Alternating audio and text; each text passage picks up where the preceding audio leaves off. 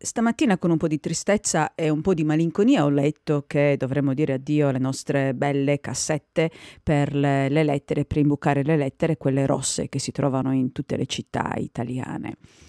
Ci sono legata molto sentimentalmente perché da sempre, già da quando ero ragazzina,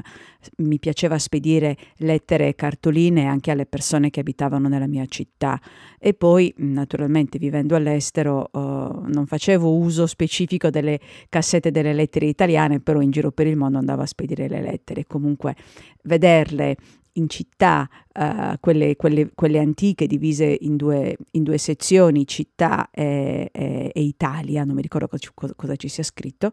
eh, mi dava un senso di sicurezza, un senso di tranquillità, un senso di ecco sono a casa, un po' come le cabine telefoniche che ahimè, invece quelle si sono scomparse. Quindi non mi ricordo dove ho letto addio alle vecchie cabine, a, alle vecchie eh, cassette delle lettere, verranno sostituite da queste nuove eh, cassette delle lettere intelligenti che dicono al postino quando lettere, ci sono le lettere dentro, che dicono anche che tempo fa e chissà cos'altro. Poi cercando così in rete eh, sono capitata su un altro articolo intitolato esattamente allo stesso modo Addio alle vecchie cassette postali diventeranno smart e digitali, sono andata a vedere la data ed era il settembre del 2022, quindi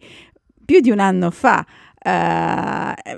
quindi mi è venuto da ridere perché in questo articolo del 2022 si diceva che entro l'anno uh, ci sarebbero state non so quanta percentuale in tutta Italia di cassette postali rosse eh, tolte e sostituite da quelle super intelligenti e quindi invece adesso l'ANSA pubblica uh, la notizia che eh, verranno installate le cassette, quindi in un anno non si è fatto assolutamente niente. Allora dopo l'inizio della giornata un po' malinconica telefonico, ho oddio, mi portano via anche le cassette delle lettere, mi sono rilassata e mi sono ricordata, e vabbè, ce ne, eh, ce ne vuole di tempo prima che facciano realmente qualcosa. Cristina, rilassati, che ancora per molto tempo ti potrai godere le tue belle cassette delle lettere che eh, già da due anni ci provano a dire che le devono sostituire con queste intelligenti. Per ora di intelligente non so che cosa ci sia in Italia, sicuramente non le cassette delle lettere, e comunque a me le cassette delle lettere piacciono non intelligenti intelligenti.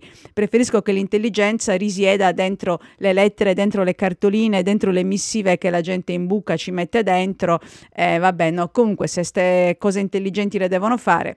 tiro un sospiro di sollievo perché ancora me le posso godere. Infatti domani per prima cosa vado e mi fotografo la mia cassetta delle lettere rosse prima che diventi veramente una rarità da museo.